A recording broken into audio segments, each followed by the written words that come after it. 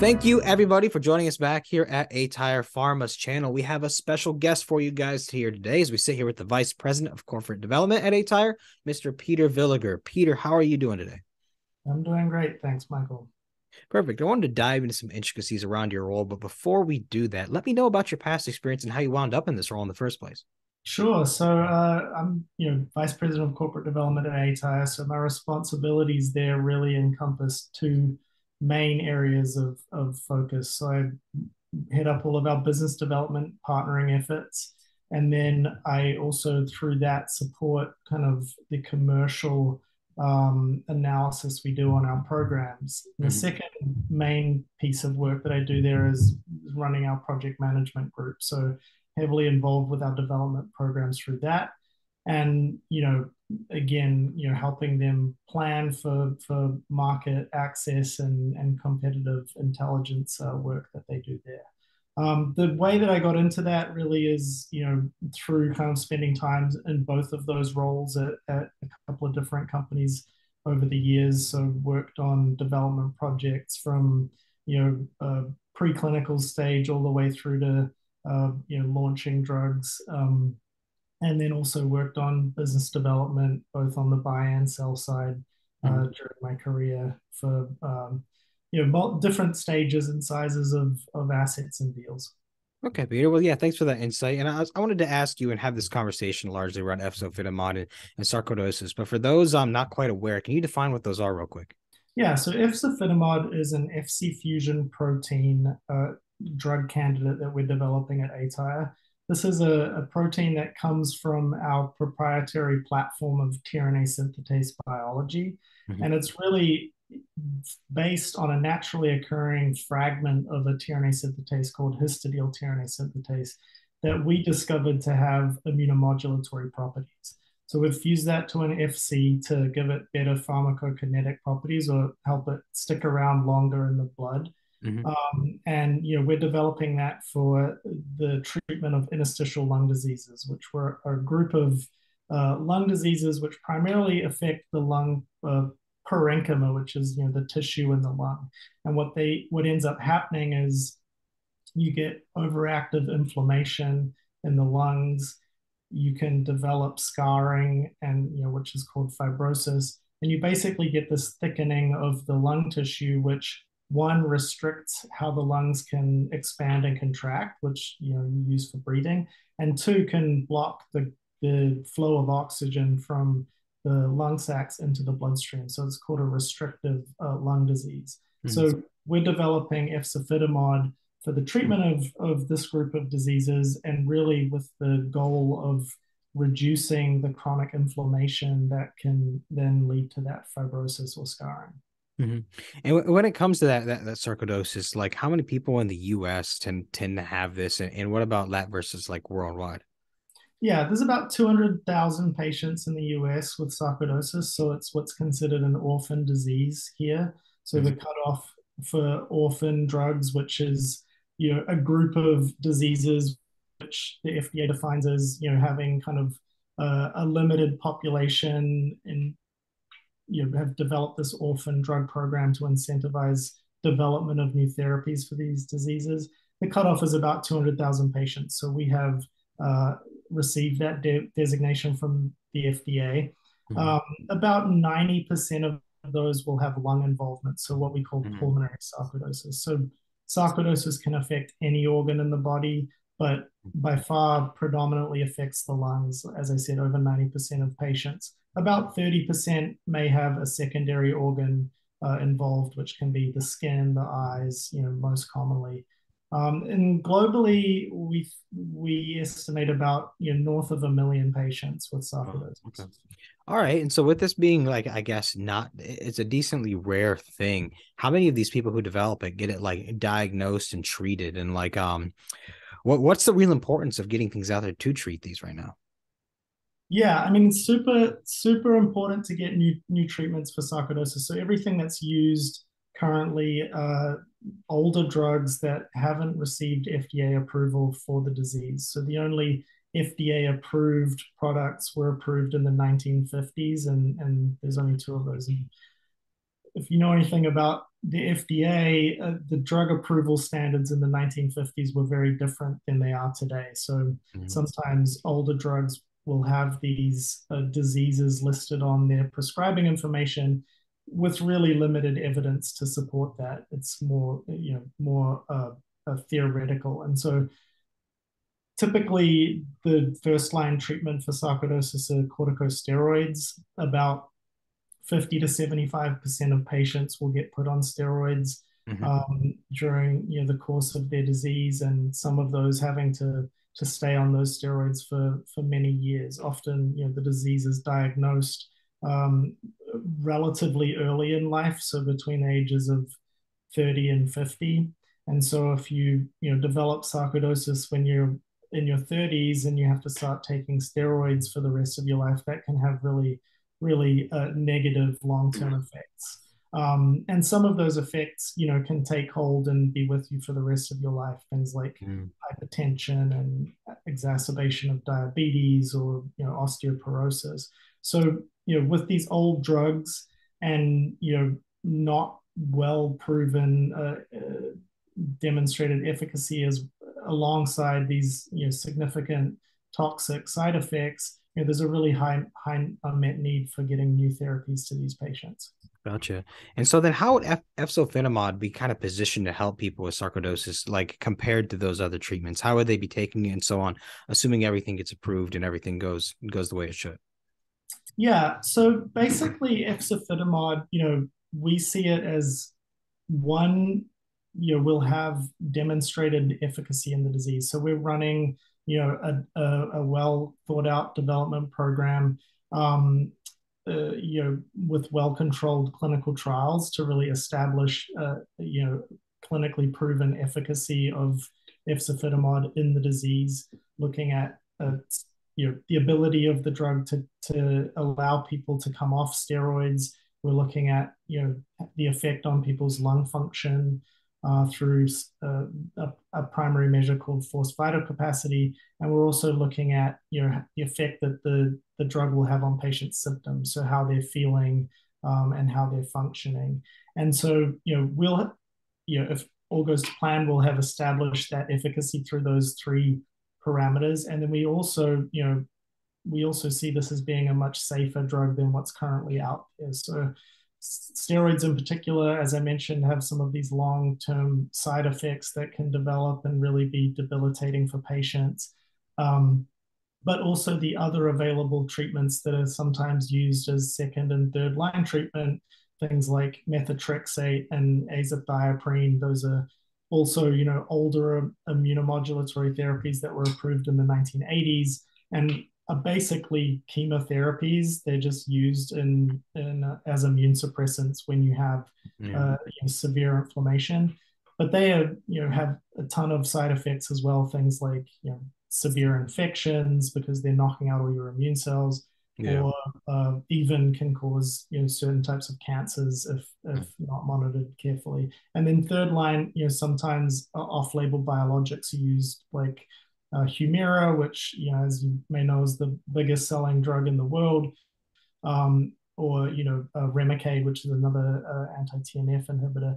These, you know, have shown some benefits clinically, but also are used, you know, they're not approved for use by the FDA and they typically, you know, you carry higher price tags and, you know, when you are using them off label, there can be issues with getting those treatments reimbursed by insurance. Yeah, fair enough. And I guess so. Out of these people affected by it, who would be your your, your core population of patients, so to speak?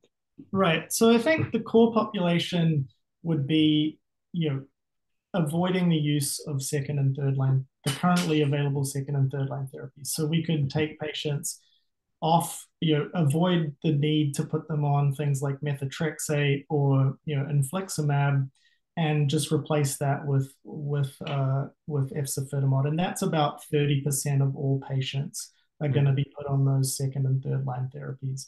Mm-hmm. As an upside population, we see patients who are on steroids currently and you know either at risk of progression despite being on on corticosteroids um, or on steroids and you know they've been on chronic steroids and they've developed some of these, you know, or, or dealing with some of these long-term side effects. And, you know, we see if efzofitimod could be used as a steroid sparing agent in those patients. Gotcha. And I guess um so what, what's it expected to cost efzofitimod and like how is that compared to other products and like is are there other competitors at play here? Yeah, so I mean I think it's a little early to get into a pricing discussion uh, right now on on efzofitimod. I think we think in terms of looking at comparable types of products, you can look at the uh, biologic immunomodulators that are used for autoimmune diseases, things like Humira and, and Remicade, as I mentioned, other TNF inhibitors. You could also look at the drugs that are used for you know another form of interstitial lung disease called IPF, mm-hmm. which uh, marketed by Roche and Boehringer Ingelheim. This is uh, uh, Esbriet and Ofev. Uh, and what those drugs cost is kind of comparable um, benchmarks. So we think there's there's you know it's going to be a premium price product, but without getting into specifics on uh, on the details on that, which obviously depend on a number of different factors, largely you know the data that you can generate and mm-hmm. benefit mm. of the current therapies. Fair enough. And um, so talk to me about this this orphan drug designation and like like what that does for you guys in terms of for for IP or for patent exclusivity. Mm-hmm. Yeah, so the orphan drug designation is a scheme put in place by the FDA to help incentivize development of drugs for rare diseases that uh, had been typically overlooked by uh, pharmaceutical companies. Mm-hmm. And what it allows you to do is one, have a little bit more interaction with the FDA um, during the development process. It allows you to, um, you know, avoid some of the fees of of filing your drug for approval. So there's something called the PDUFA fee, which is pre- pre- Prescription Drug User Fee Act. So when you file a drug with the FDA for approval, uh, you have to pay a, a pretty hefty um, filing fee, you know, to cover cover the cost of their work you avoid that with with orphan designation. And then it also grants you seven years of market exclusivity in that disease from the time of approval. And this is something that you know you can see this applies from the time of approval in a specific in, indication. So if you have your first approval with an orphan disease it'll be from you know seven years from that date. But if you get another indication approved a few years later you know that's also an orphan disease, you could have you know seven years from that date of exclusivity in that indication. Okay. And when, when you, you talk about other potential diseases here, there there's there's a lot more than just one type of interstitial lung disease. So what other ones, what other types of ILD diseases do you think could be a market opportunity for it? And uh, what do you think the size potential is there? Yeah, so there's about 200 different types of interstitial lung disease. You know, all sort of bucketed these these different diseases that, like I mentioned, all end up uh, end up affecting the lung interstitium, defining them as interstitial. I think when the way we look at it, there's about 80% of the patients that are covered by the four main types out of those 200. So the four main types of of uh, ILD or interstitial lung disease, uh, sarcoidosis, IPF, uh, connective tissue disease related ILD, and then another group called chronic hypersensitivity pneumonitis. Okay.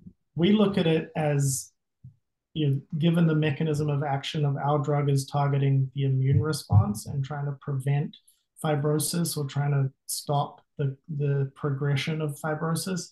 Um, we look at the, the types of interstitial lung disease that are more defined as immune driven as the really the target market for efzofitimod. So this is, you know, really the connective tissue disease related ILDs, things like rheumatoid arthritis ILD or systemic sclerosis related ILD uh, could be potential uh, market opportunities for us.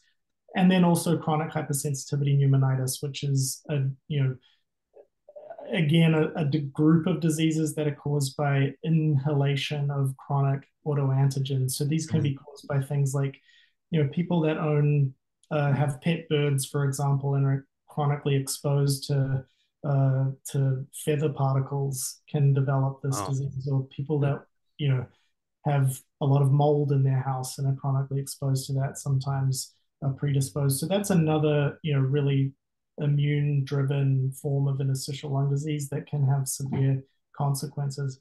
IPF is a disease where, you know, has obviously gotten a lot of attention from industry. There's two approved products, they're selling very well. There's a lot of development focus in that area. But you know, the immune component of IPF is a little bit less well defined. There's definitely um, you know active research going on in that area, but as a as a kind of drug target, it's been less well explored. Mm-hmm. And why why do you think sarcoidosis is like not anywhere near on people's radars versus the other ones?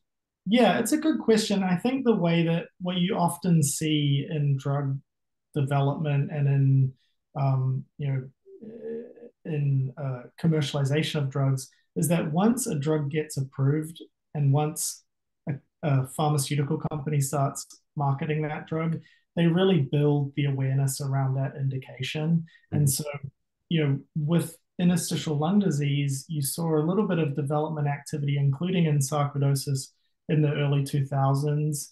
Um, there was some trials run with infliximab and, and a couple of other TNF inhibitors back then, but nothing was approved at the time. And so I think you saw some of that activity dry up. In IPF, you had two drugs approved in 2014, uh, the drugs from Roche and, BI.